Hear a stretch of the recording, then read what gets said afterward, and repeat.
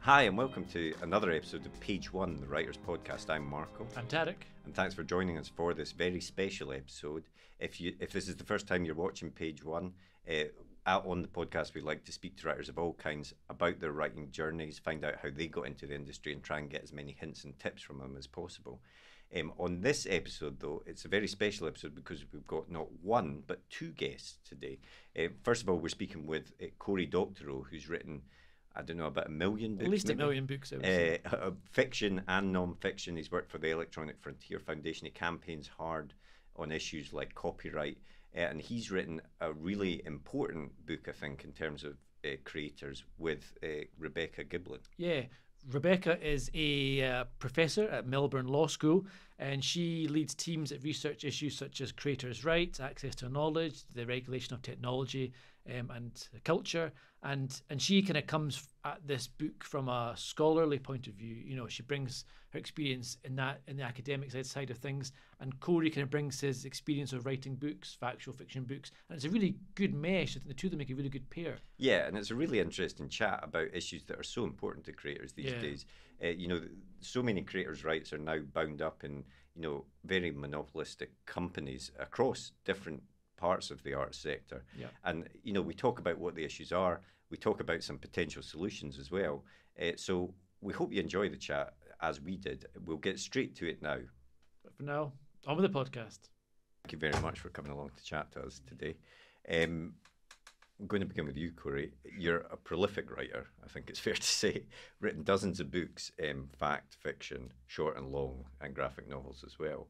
Um, did you always want to be a writer? Was that the thing that you always wanted to do? I did. Uh, I was six years old when my folks took me on the family dinosaur in 1977 to see Star Wars, which I am not one of those people who will say, oh, it's the greatest movie ever made. But in 1977, there was almost no programming for kids on telly. We, VCRs hadn't been uh, widely distributed. And uh, with our couple of broadcast channels, the only children's programming that we got was the mandatory children's programming to keep their broadcast license. And to make it as cheap as possible, they got donated content, which came from the Methodists, who had a, uh stop motion animation cartoon called uh, Davey and Goliath, which was just Bible lessons. And it was, suffice it to say, there was not a lot of drama in this. And then there was, you know, um, there was uh, uh, some, you know, public television for very small kids, and there was uh, Looney, Looney Tunes, and nothing else. And so going and seeing a show that had plot reversals, multiple points of view, out of chronology storytelling, you know, fake outs, all of that stuff was really mind blowing. And when I got back, I wanted to figure out how the story worked, and I got some, um, you know, A4, and I folded it in half and stapled it down the middle like a like a book size, and then I just wrote out the story over and over again, like a kid practicing scales on the piano. And you know, my parents were very supportive of it. They thought it was great, and I got kind of, I guess, heaped with praise. It felt good. And I think that a lot of what we call talent is just not noticing that you were practicing because it was fun. Yeah. And so years later, when I began to write more seriously, I had a knack for it. And I think that that knack just came from having been encouraged, having found, uh, you know, positive experiences. And, you know, I don't want to spend too long on this, but in Toronto it was in the 80s, it was a great time to want to be a writer. We, we had, uh, in particular, um, one person who was kind of the doyen of the science fiction scene, a woman named Judith Merril, who was the uh, you know, kind of groundbreaking editor, writer, critic. She she was the also the doyen of the English New Wave. Uh, she came over here and edited an anthology called England Swings with Michael Moorcock. She's a real towering figure, and she'd gone into voluntary exile in Toronto after the Chicago police riots. She'd she'd given up her American residence, and uh, she donated her books to the local library system uh, and started what is now the largest science fiction reference collection in the world. And she was the writer in residence. And starting at the age of about nine or 10 on a school trip, I went down and was told, anytime you want, you bring a manuscript down and Judy will critique it for you. And so from that age on, I had one of the great figures of the field critiquing my work. And she started so many different projects and uh, institutions and um, you know, uh, magazines and whatnot and writing workshops. And I just ended up, because I was in her orbit, I ended up in a peer workshop of other people who'd been in her orbit. And she found us a community center to meet, and she didn't over, oversee it. She just was like, okay, you guys are all at the same place, you should yeah. do it. I worked in the books, science fiction bookstore that she had inveigled a local fan to, to found, which is now the oldest science fiction bookstore in the world. I went to monthly potluck dinners that she'd organized. You know, I. I, I was sort of like in her orbit. And so it was the closest thing to a formal apprenticeship for science fiction writing yeah. that anyone has ever had. And so I went, you know, smoothly transitioned from seeing this movie in 1977 to having a, a relatively easy entree uh, into the field. Mm-hmm. Yeah, sort of, uh, as you say, an apprenticeship there. yeah. yeah. Um, and Rebecca, you're a professor at uh, Melbourne uh, Law School, and creators' rights, uh, regulation of technology, that's something which you research.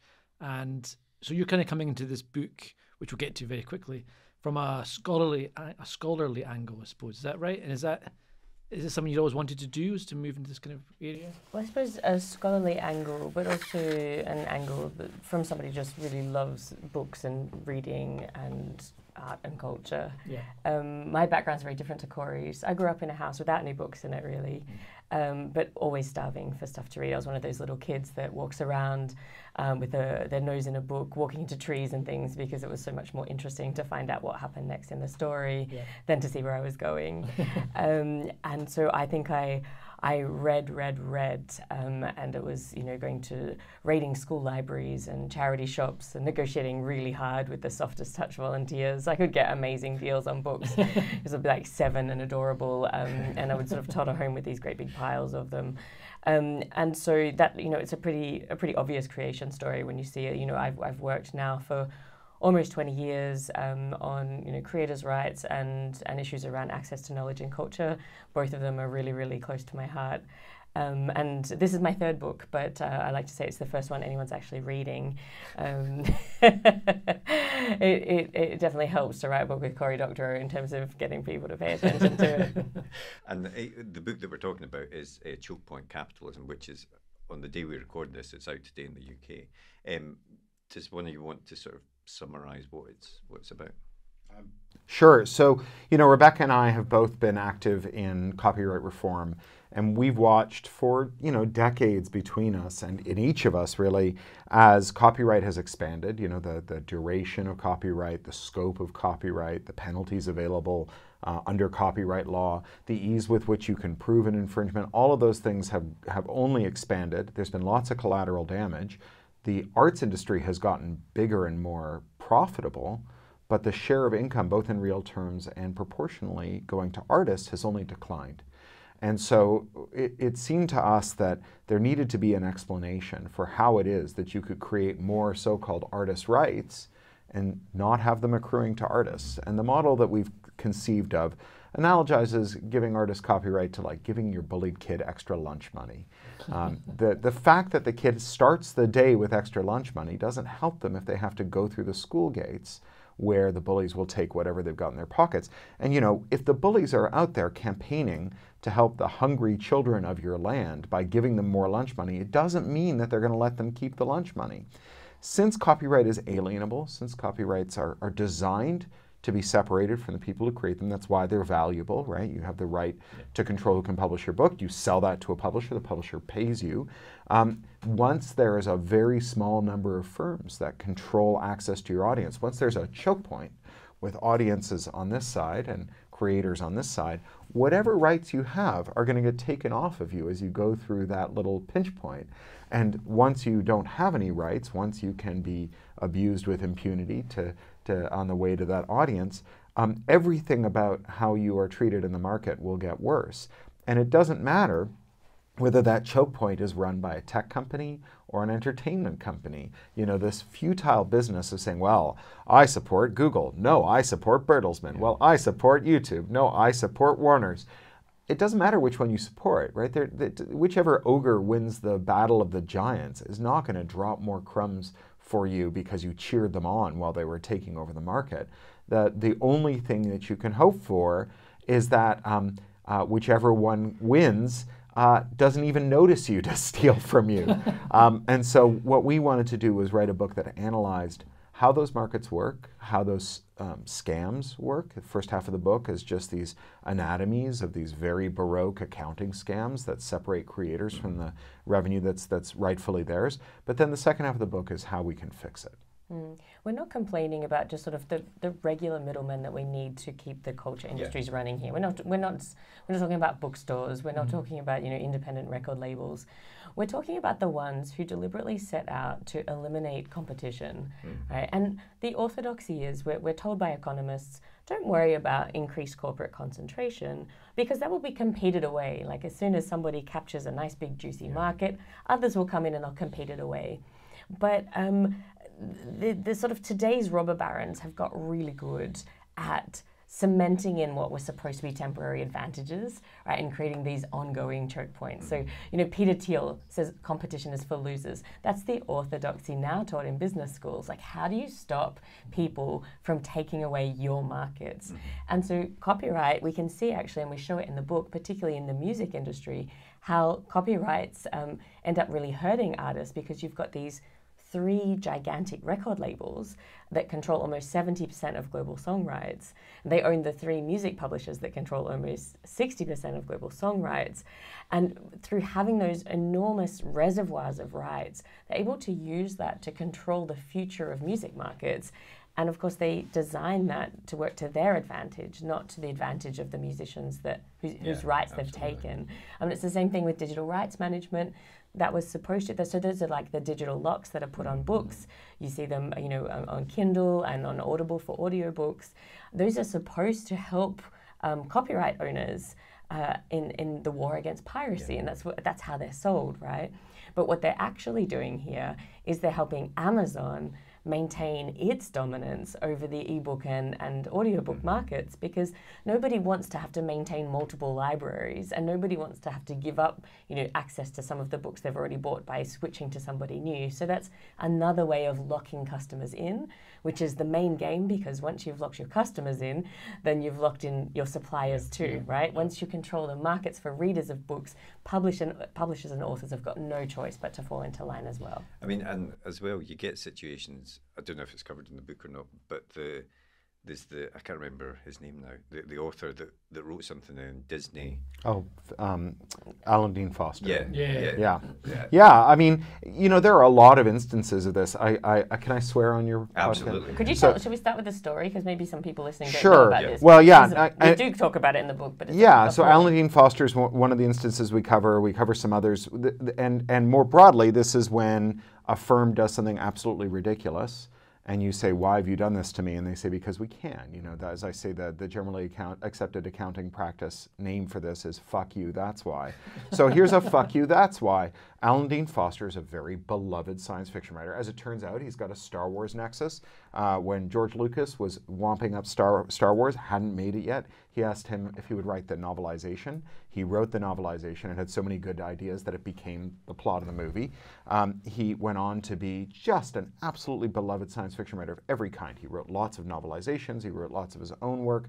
Um, his novelizations are surprisingly good, they're not hack work, uh, and they sell, and they sell, and they sell, and they sell. So Disney went on this orgy of acquisitions. They bought Lucas, they bought Fox, they you know bought Pixar, um, and uh, you know in this regard they're not dissimilar from other large firms. We, we think of uh, Google as an idea factory, but when you look more closely, they've made a browser, a search engine, a Hotmail clone, and everything else is something they bought from someone yeah, else. Yeah. And everything that they've done in house is something that failed, yeah. right? Google, Google Video failed. They made that in house. YouTube they bought from someone else. That's a success. And so um, Disney grew by the same way. It went out and bought a bunch of its competitors. Uh, and um, it took this very curious position. It said, when we bought Fox and Lucas, we bought their assets but not their liabilities. Mm-hmm. So we bought the right to publish Alan Dean Foster's books, but not the obligation to pay him when we do so. And they said to Alan Dean Foster, well, they didn't say anything to Alan Dean Foster. They refused to return his phone calls, they refused to return his agent's phone calls. And eventually, when they were called out and, and brought to heel a little, they, they explained this to him and they said, maybe we can negotiate with you, but the first thing you're going to have to do is sign a non disclosure agreement, which he refused to do. Foster is an old man. His wife is dying of cancer. He is not in a great position to be bargaining with them, but he stuck to his guns. And writers and fans all over the world rose up.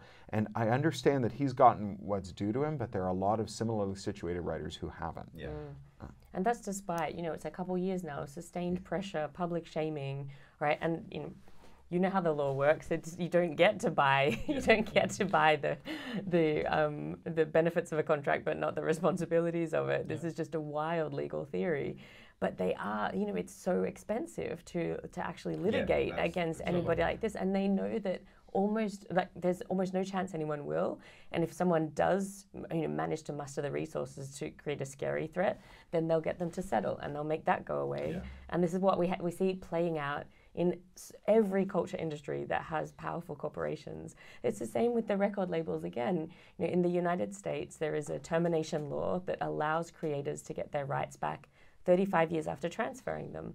Now, it was supposed to be automatic and apply after 25 years. It became um, after 35 years, and you've got to jump through so many ludicrous hoops that very few people can actually do it. Um, and what happens in and, and and the record labels in particular keep arguing that you know you can't do it for music. And anytime there is, you know, somebody like a Paul McCartney, right, who could actually push this, they, they take it to settlement, so there's no precedent yeah. anyone else can rely upon. Yeah right? And so this is another way in which the, the, the creator shakedown continues. I, I want to give you an example of another fuck you, that's why, uh, from the book, from the record industry. Um, in, in, until pretty recently, digital record royalty statements had a deduction that was for breakage. Now, breakage as a deduction originates with when shellac records were moved by lorry to the record stores on the high street, and it refers to records that shattered on impact. They were charging breakage on MP3s. And again, the GAAP basis for this is fuck you, that's why. Right? We are big, you are small, you can't afford to sue us. And so that's one of the hazards of, of, of letting firms get very large. It, you know, and I think that it would be wrong to assume that these firms are run by exceptional people. They're not exceptionally brilliant and they're not exceptionally evil.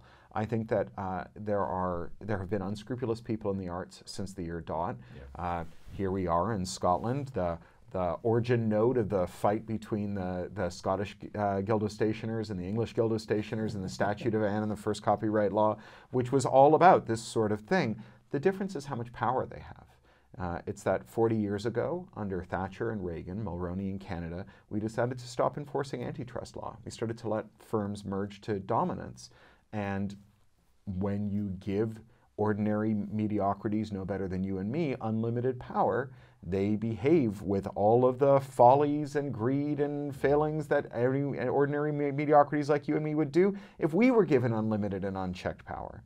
Yeah. Well, I mean, it's, it's interesting because I mean, you look at someone like Amazon, I suppose, and a lot of people that something that we've chatted to in the past on the podcast have viewed the rise of Amazon as a good thing in the sense of opening up new paths for authors to to get their work out there. You know, self-publishing and the Kindle market, and I totally appreciate that that you are putting work into this kind of into their into their basket, I suppose. But it, they have also opened up avenues that weren't available before. And is, is that not a good thing? Yeah, no, it's totally true. And I think the shell game they want to play is that the only way you could break open the uh, dominance of the big six publishers went a few years ago, now big five, nearly big four, depending yeah. on whether this merger goes through, is not just by having self-publishing platforms or easy online ebook platforms, but also that they have to be as abusive as possible. That that is somehow integral to the project, right? It's the same thing Google wants you to believe, that the only way you could possibly search the internet is also be by being spied on in the most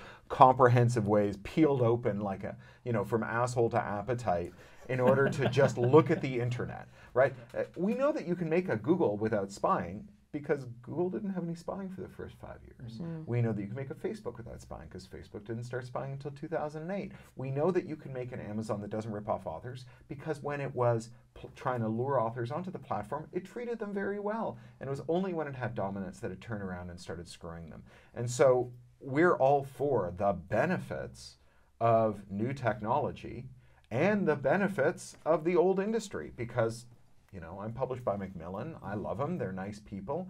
Um, i think that there's gr- lots to admire about them. And i think that the things that they do that i dislike can easily be separated from the things that they do that I enjoy, and that we could go on having a fruitful relationship without permitting them to overstep what firms should be allowed to do. Yeah. And and I just wanted to ask about the the writing process of this. When there's two two people working on something like this. I mean, how how did that work? How did you? We used a Ouija board. this was um, maybe I can tell you a little bit about how we came to write this book together. Yeah. Um, we'd had this amazing discussion in a taxi in Melbourne in, in 2018, where we really saw that we were both seeing this as a problem of of of big rather than you know uh, not enough copyright or creators not working hard enough or anything like that. Then fast forward to when the world ended. It's um it's it's March or April 2020. I'm locked up in my apartment, um, and all of the work I had for that that year planned was cancelled, and so. I thought this was actually very freeing because this was the story that I so wanted to tell, and I started working on it, and um, and I realized this would be so much better if Cory worked on it with me. Um, and you can actually just email Cory Doctorow and ask if he'll write a book with you. He'll probably say yes. Uh, he did for me anyway. Please don't do that. Please don't do that. Uh, but um, he really didn't have a lot of time. Uh, he was writing a whole bunch of other stuff. Um, and um, I had a lot of time because I was locked in Melbourne, which you might have heard didn't go that well for us uh, with, the, with the lockdowns. Um, and so we, we came up with, I've written, I've written, um, I've had a few major co-authors and every single one, it's a different process process. Mm. For this one, we would have like a really long chat um, every couple of weeks. We're doing a chapter every two weeks, I think. Um, we'd have a really long chat and we would um, just sort of think about the shape of it and the ideas that we wanted in it. Usually I would lead the first draft, sometimes Cory would, um, and then we would swap. And so um, having. knowing that Cory was going to be editing my work and reviewing my work, um, forced me to become a much better writer because I was too embarrassed to give him anything too bad. But then also um, seeing the edits that would come through uh, really helped then I think improve my writing for that. So I think that's been a, a, wonderful thing. I'm not sure if I've ever told you that, but like, a, a, wonderful thing that's come out of this project is I can see the effects of that in my writing because cool. uh, it was also like a year long apprenticeship from a science fiction writing master yeah. um, that I've brought into my work. Um, and then, yeah, and then we would just, and usually it would work pretty well, and sometimes there'd be something not working. We just keep banging, keep yeah. banging away and, at it. You know, I've worked now with the Electronic Frontier Foundation for 20 years, mm-hmm. and it's filled with brilliant people with legal training who care about the same issues as me. And a lot of my work for 20 years has been taking their drafts and rewriting them. I, I don't think we've ever talked about this, but that's, mm. you know, I've, I've been doing that with, I did it with Gwen and I did mm. it with Fred von Lohmann and I've done it with Cindy and I've done it with all kinds of lawyers that we yeah. know yeah. Uh, who have um, similar backgrounds and interests mm. and so on. And, and, there is a, there is a, a kind of, um, you know, method to, taking arguments that are uh, constructed in the way that you would a uh, legal argument and making it into a, uh, a kind of um, lay argument. And mm-hmm. it, it's, you know, it's the, the, there's, it's not a formula, but there is a kind of, you as you do it for a while, it gets um, a lot easier as well. Yeah. And, and how does it compare writing a book with someone to your other work when you've written a book by by yourself? You know, is it quite nice having someone to bounce stuff off, or do you prefer having the control? It's both. I mean, as as, as you would say, you know, as everyone says, uh, when two people write a book, each of them does seventy five percent of the work. Uh, I just we just came from lunch with Charlie Stross, who lives here in Edinburgh, who I wrote a book with some years ago. Uh, and it was much the same with him. You know, the, I mean, the process was very different, but uh, you know, it was more work than writing half a book. It was less work than writing a whole book. It was probably more work in aggregate overall, but then you also get the benefit of rubbing your ideas up against someone else's and and so on. Mm, yeah, that was so difficult because I, I probably spent three weeks three weeks working on it by myself before I emailed Cory, and it was exhilarating, but it was also so hard to just argue with myself on mm, this stuff. Yeah. You know, these were these were new. A lot of this was new ideas for me. It was outside of my comfort zone, but it was a story I desperately needed to tell, um, and Cory desperately needed to tell it as well. So even though his agent said, "Do not write this book with this Australian woman," here we are. and uh, as well, Cory, you've you've obviously written uh, fiction, you've written uh, non-fiction quite a lot, and I was just wondering how do you decide when when you're going to take an idea and push it into a fiction route and when are you going to stick with the non-fiction and is is there sometimes a, a time when it's easier to get a message across if you're if you're telling it in a fictitious way. Well, you know, I, I generally do both. I mean, there aren't a lot of themes that I've explored in fiction that I haven't explored in mm-hmm. nonfiction and vice versa. So it's not so much a, like which of these ideas is a good fiction. Obviously, some ideas are um, intrinsically fictional in as much as if you're writing a story. Uh, ben Rosenbaum and I wrote a story about. Um, uh, far future planet sized intelligences set 10,000 okay. years in the future simulating each other. That was not going to be a nonfiction book. Um, although I do write a lot of uh, computer science oriented nonfiction about simulation and how, in information security context, it's very hard to know when a, for a program to know whether it's running on in a computer or in a, another mm-hmm. program and how this has all these implications for policy and information security and so on. So there are ways in which I address those in, in fiction too, I suppose. Um, and and you know I think that they're very complementary. You know, and, and with a two-part epoxy, you've got something that's rigid and brittle, and you've got something that's sort of gooey uh, and will fill all the cracks, but but pulls apart easily, and you mix them together, and you get something that's resilient. And fiction, you know, it's not. It, if, if fiction is like dictating a crisp argument to you, it's really not fiction. And at that point, it's it's nonfiction. Yeah, yeah. But fiction can give you a kind of emotional resonance for how an idea feels. Mm-hmm. And then the idea can be very crisply articulated in nonfiction. And they work like two part epoxy. You know, here's the nonfiction, it's a policy. I turned a book into Verso the day before yesterday, two days, three days ago now, uh, about, um, you know, tech policy. Uh, it explores the, many of the same themes that are in the novel that I'm working on right now, and they really are very intensely complementary. I was I was really interested that you guys used um, used the Kickstarter route for the audible for the audio book version. Sorry of this, not the audible version. um, and you know you raised over hundred thousand for it. It was obviously people really responded to that, and is, is is that a clear message from people? You think that there is people are interested in alternative ways of obtaining books rather than going through the kind of usual platforms? I, th- I think the chapter on Audible, Audible's abuses, um, particularly with regard to independent authors, is one of the most powerful and outraging parts of the book. Um, Cory has never allowed his books to be made mm-hmm. available on Audible because of their compulsory DRM um, and other abuses. And his agent has a, to say this, his agents told him that uh, what he's given up by not having his books on, his audiobooks on Audible is um, paying off the mortgage on his house and um, funding his child's college education. so we're talking about a very yeah. strong, yeah. principled stance that's going to hurt yeah. Um, substantially. I think I think that this is right. There's there's a lot of people don't understand exactly how dangerous um, Audible stranglehold is, and the way in which now they've got that dominance, they're using it to squeeze authors and independent publishers in particular, and how they will continue to squeeze everybody else. The more power that they've got, a famous Bezos aphorism is your margin is my opportunity, right? And he puts that into practice every time he can. Um, you know, a more familiar story might be the Gazelle project. Um, some people have heard of that. When Amazon first started getting um, power over the book industry, they wanted to improve their margins. And they literally created something called Project Gazelle, whereby they went after the smaller, weaker publishers first to shake them down for more margin, right? Which they could then use to like lock customers in more and eliminate comp- competition. And then, you know, once they've got all of this in place, that's when they can really squeeze everybody. And they called so, it Project Gazelle because mm. it was like a cheetah bringing down yeah. a weak yeah, gazelle. Yeah, yeah. That was the only part the lawyers objected to, as far as we can tell. Don't call it that. Don't say the quiet part Uh, yeah. out loud. Project, project right. premeditated murder. Yeah, yeah, yeah. and so this is the playbook that they're all they're all playing by. That's what we show in the book, right? And it wasn't really it was we were quite far in. We, we looked at all of these different culture industries and and after a while we realized we're like this is exactly the same thing every time. And so this is I think, you know, the, the, the reasons why a lot of people are starting to feel uncomfortable with Audible are the reasons why we need to feel uncomfortable with everything else. But um, it was so terrific that people were interested in supporting the Kickstarter because there's no way we could have financed and we had to self-finance the audiobook and hope that people would listen yeah. to it. Yeah. And after the the Kickstarter, I mean, you can buy it from all um, from from all audiobook supplies that don't have mandatory DRM. Which um, is everything except Audible and, and Apple. Apple. right?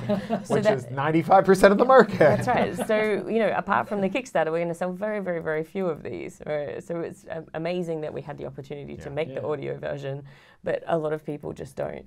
But but would you would you say to you know, an aspiring author that wants to get their book out there to avoid Amazon, then should they not be using that service?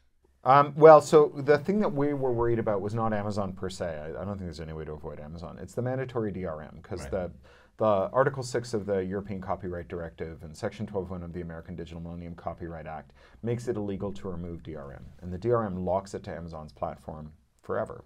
So you as the copyright proprietor, the person who owns the copyright in your audiobook, can't authorize your listeners to to yeah. convert those books and take them somewhere else. So, in terms of the danger of giving Amazon uh, uh, access to a copyrighted work, this is particularly dangerous. It's dangerous in a way that exceeds the risk of just letting them sell your ebooks without DRM.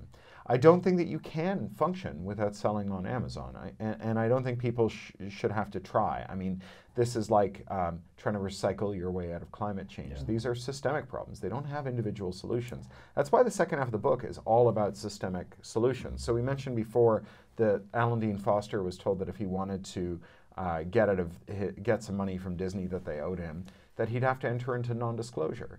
Uh, and that would mean that he couldn't disclose what percentage of what he thought they owed him they were willing to give him, which would give other people an edge. Like they could say, hey, we hear you settled with Alan Dean Foster for 70% of, of what uh, you owed him. You're going to have to give my client 70, yeah. 70% yeah, too. Yeah. It also means that they couldn't explain what they discovered when they audited Disney's books or looked inside, you know, mm-hmm. all of these things that would help other people. Now, as it turns out, this is universal in royalty contracts, that royalty contracts usually have the right to audit when you do find irregularities and you ask for your money, they tell you that if you want your money, you're going to have to sue them, or if you want a settlement at a discount, you're going to have to sign a non disclosure.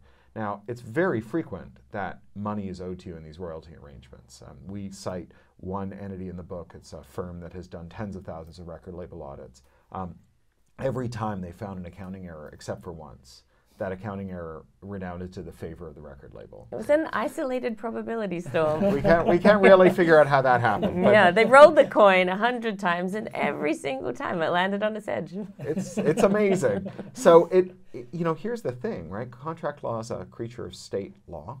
Uh, all these contracts are consummated in California and New York, and then Washington because of Amazon, and Tennessee because of Nashville. State laws are among the easiest to get passed, They're much easier than federal laws and regulations if each of these states, or even one or two of them, were to introduce a bill that said, as a matter of public policy, non disclosure is not enforceable where it pertains to material omissions or misstatements in uh, uh, royalty statements that were down to the detriment of royalty collecting creative workers, you'd put more money in the pockets of more artists at the stroke of a pen, instantly, all over the world, than all the copyright term extensions of the last 40 years combined.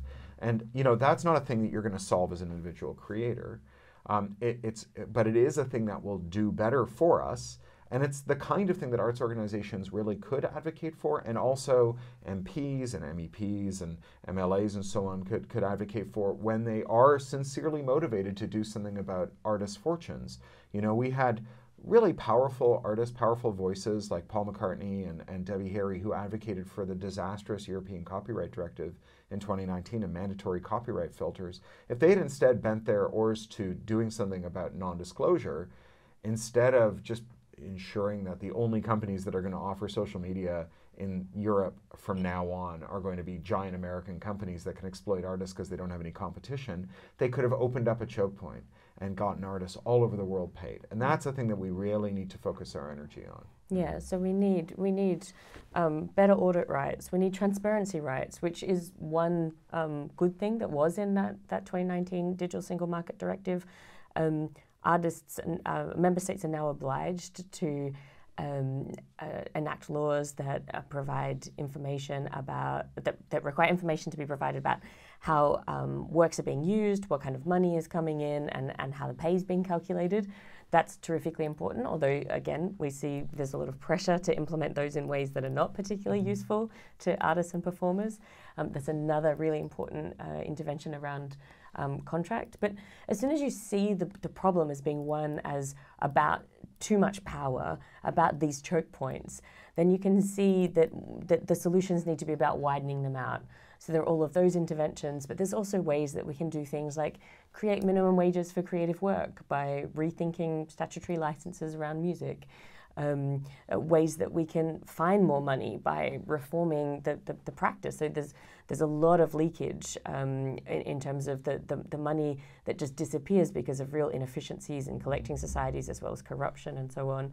Um, the, there's just so many things that we could do if we actually focused, instead of this really non nuanced discussion about do you want more copyright or do you hate artists, right?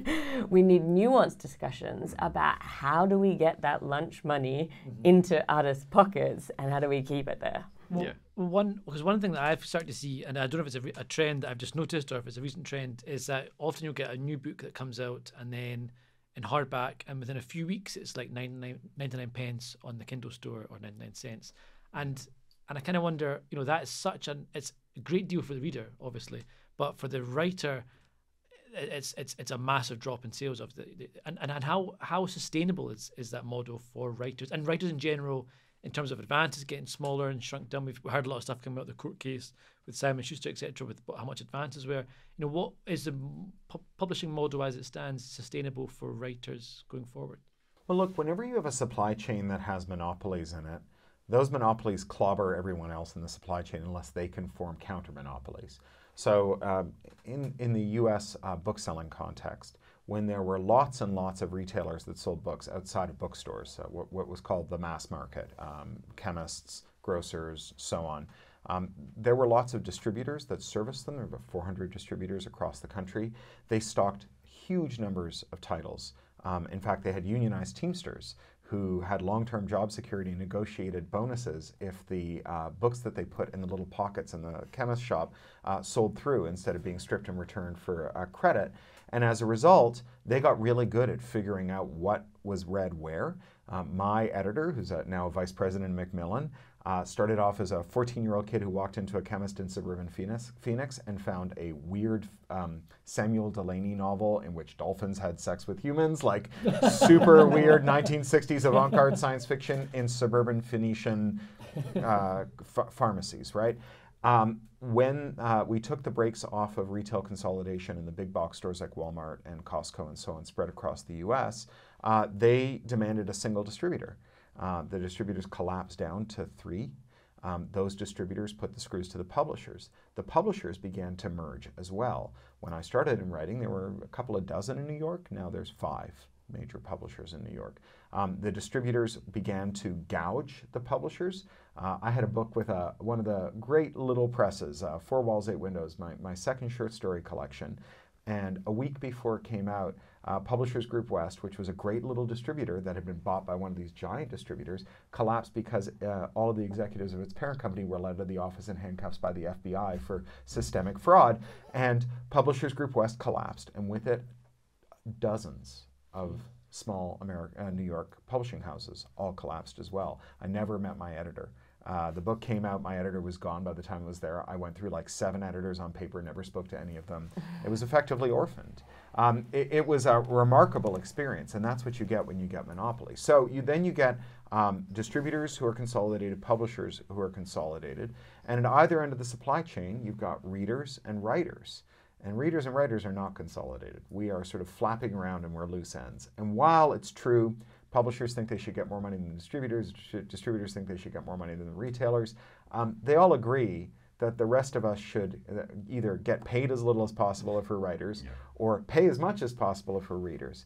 And um, you can see anyone who's not organized being uh, hit in that way. You know, libraries are relatively disorganized, so they're being gouged on ebooks, where now a library will pay 10x what you or I will pay for an ebook. And our ebook, which will nominally last forever as long as our hard drive is good, uh, is, is much more valuable. Theirs evaporates after mm-hmm. 26 circulations or a couple of reads, uh, that, that, or a couple of years rather. So that's um, the story that you're seeing. And so when you see a publisher being arm twisted into selling Kindle edition for 99 cents, you're just seeing how power is working in these highly monopolized sectors.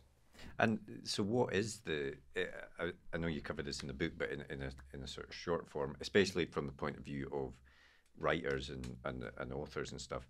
What should they be doing? Is it is it joining things like the Society of Authors and putting pressure through them on these these companies? Yeah, solidarity, collective action is really important. Um, one of the, the, the, groups that we worked with when we were writing this book was the Writers Guild of America, mm-hmm.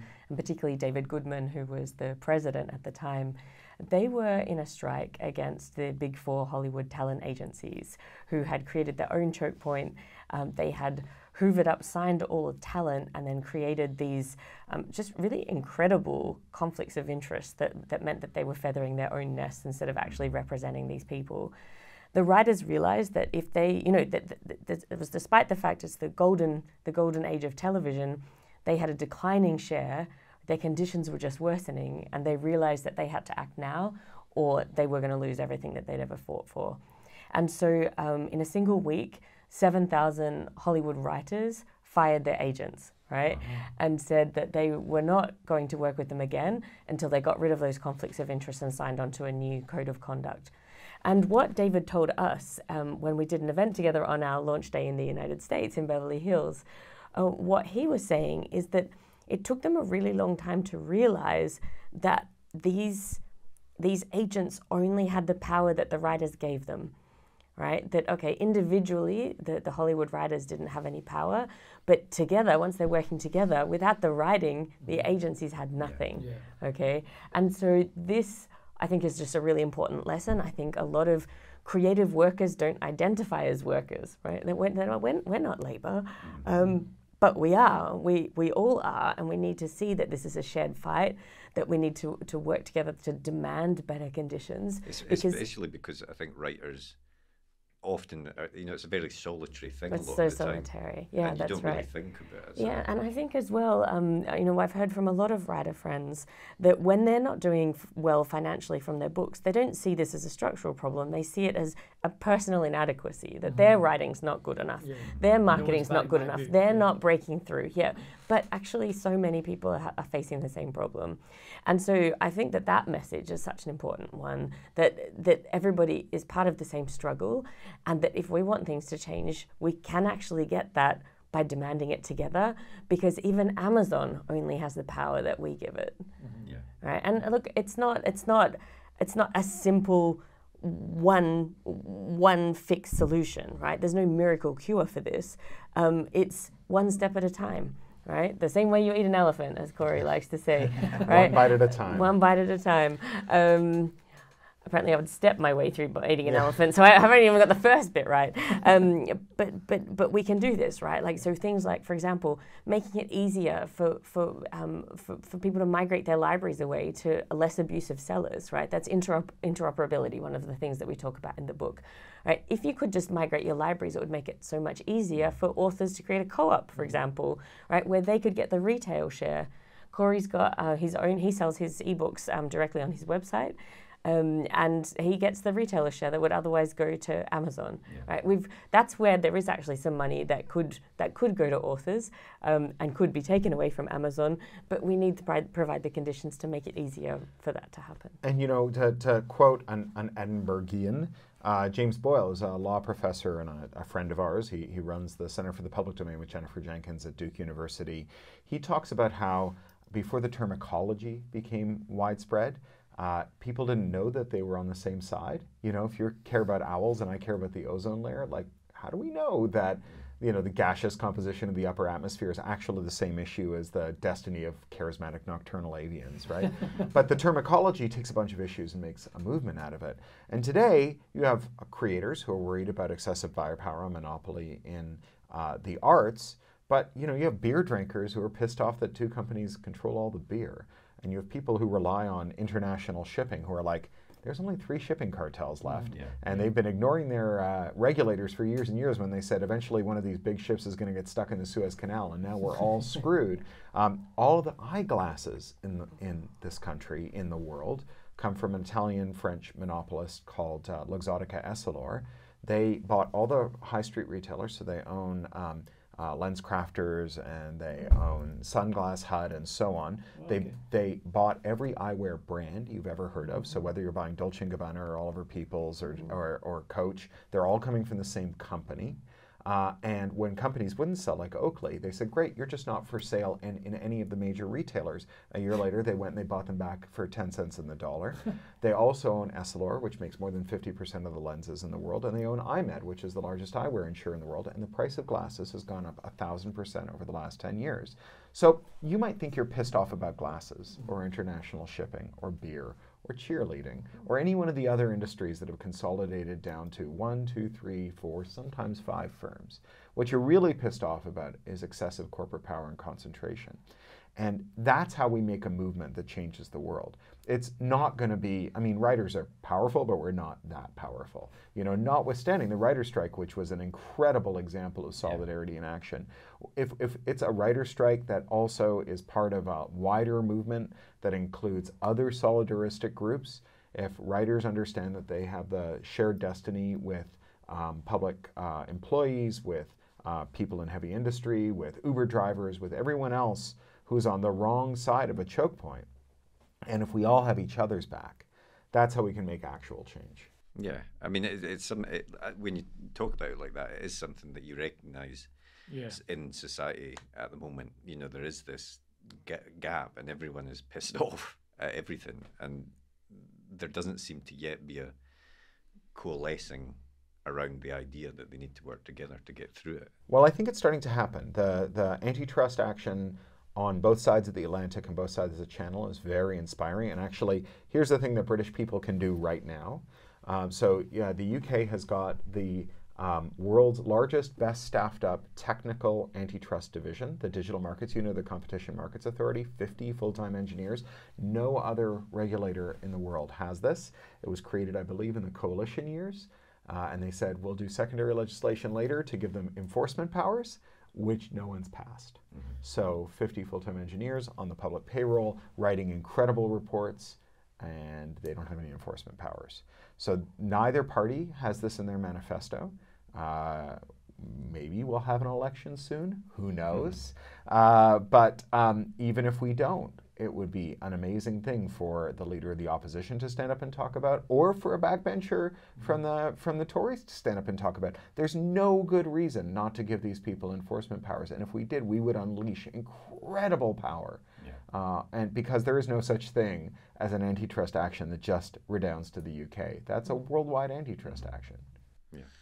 Man, that's. I mean, I could literally talk about this for like all days. It's yeah. absolutely fascinating, but we are running out of time, so I'm just gonna have to say what's next for you guys? What have you got? Uh, you mentioned before we started to chat that you've got about seven books in the pipeline. I have seven more books. The, ne- the next one's something called Red Team Blues. It's a, a noir thriller about a 67 year old forensic accountant who spent 40 years tracking down and busting every scam in Silicon Valley, and he's ready to retire, but there's just one more job a cryptocurrency heist that turns out to be uh, involving two different international mafias uh, that he gets in the crossfire of. That sounds nice. great. Sounds and I've got uh, 150 books coming out uh, because no, no, it's actually really true. um, plus one I'm writing myself. Uh, we, we I, I, started a little uh, publishing house with my team last year. It's called Untapped, the Australian Literary Heritage Project. Um, this is about, you know, most in most countries, nearly all of your your cultural literary heritage is out of print and lost. Um, that includes Australia. Uh, we started this project to bring a whole bunch of those books back, and it turns out, you know, we're testing lots of interesting questions like, you know, how um, our authors exercise their their out of print rights in practice, um, and you know, what's the value of library promotion of ebooks and what's the relationship between library lending and, and book sales. But the really exciting thing is that we got to like save save these books, and there's an amazing collection we managed to put together. Um, and we have just sold the print rights uh, a, uh, a, little bit after that, so they are all coming out last month, this month, and next month yeah. um, in in print. So they'll be back in bookstores. So I've got quite a few books coming out, um, plus the next one that's due for myself as well. But uh, if people are interested in that, check out untapped.org.au. We've got an incredible collection um, with you know half a dozen winners of our our, our, most glittering literary prize, the Miles Franklin, and so many um, Commonwealth Gold win- medal winners and so on, but just women writers, First Nations um, writers, um, really important Indigenous histories and local stories and memoir. It's just, it's really very close to my Brilliant. heart. Yeah, we'll put a link fantastic. Podcast description yeah. so people can see that. Um, well, th- those were the main questions that we had, but we always end every podcast very quickly by asking our guests the same questions. Uh, the first of which is, what was the last book that you read? So for me, it was Douglas Rushkoff's Throwing Books at the Google Bus, which uh, it took six years to work its way to the top of my to be read to be read pile. Um, but I, I got I, I, finally had to because we did a, a, a, talk with Doug, a panel together at the Ottawa International Writers Festival a couple of weeks ago. We had so much fun. He's my new favorite person, and that's a, a really interesting book. Um, it, you know, we've got this assumption that corporate growth is is mandatory and natural and like this is what you have to have. And he deconstructs that idea. He shows where it comes from. He shows how toxic it is and how dangerous it is for all of us. Um, really recommend it. And and i've just finished um, nathan robinson's uh, what's it called? Arguing with conservatives. Mm. uh, it comes out in january. I read it for a, a blurb and a, and a, a review. Um, it's really good. He um, uh, edits a magazine called the the um, Current Affairs, which he started by crowdfunding it. It's a leftist magazine, and its kind of unique selling proposition is that unlike other leftist publications, he takes right wing media very seriously.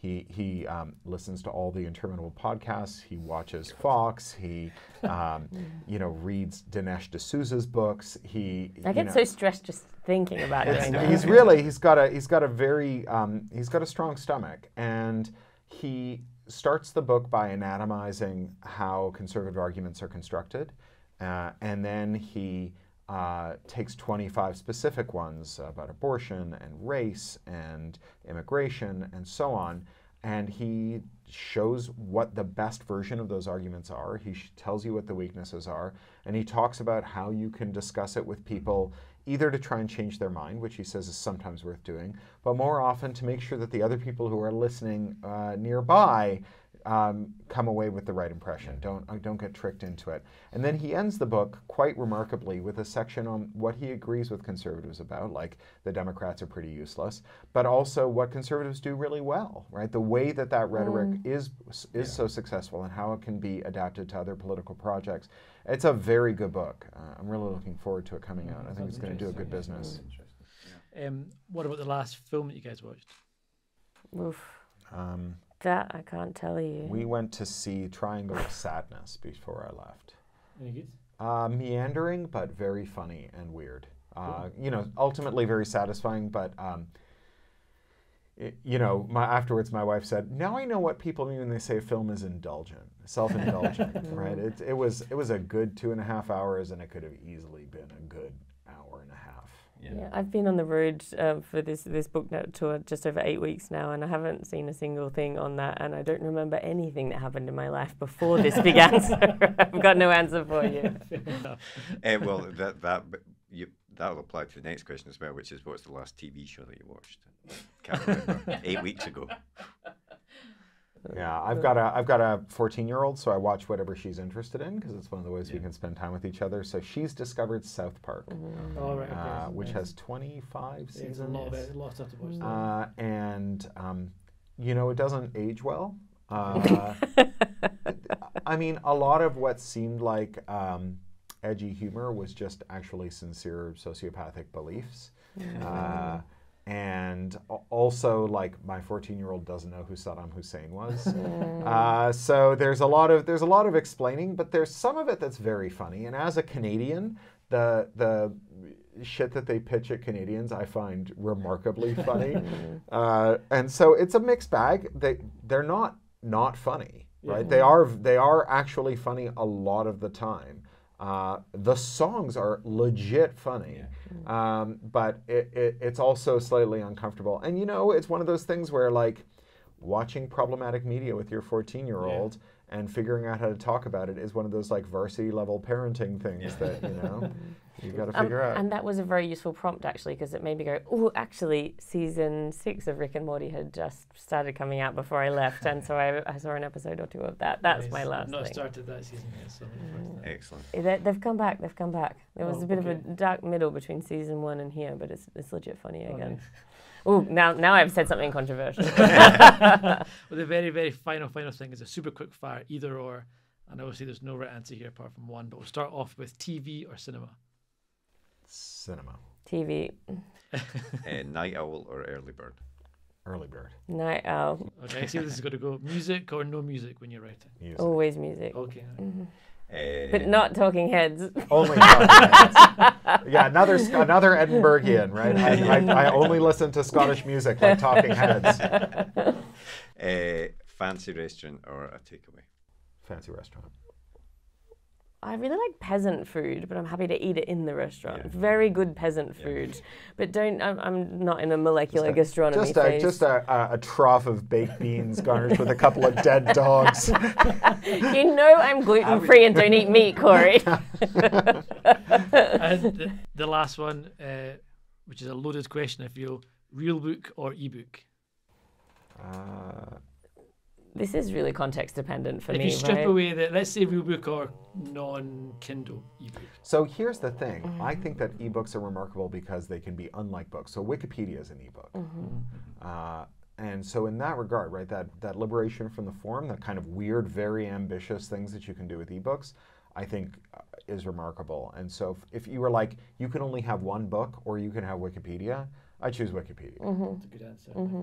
Yeah, for me, very context dependent, right? If if I want the thing now, I need that information. I'm on a hike for six days, Yeah, right? I'm yeah. traveling. Like there are so many reasons why I want an ebook, but if none of that is there, oh, and then there's other reasons I want an audiobook, but if none of that's there, I'll, I'll prefer the, the Dead Tree. Yeah. Yeah.